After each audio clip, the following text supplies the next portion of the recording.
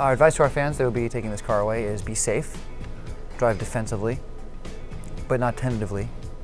Uh, don't drink and drive. Wax it Wax every it. two months. Wax on, wax off.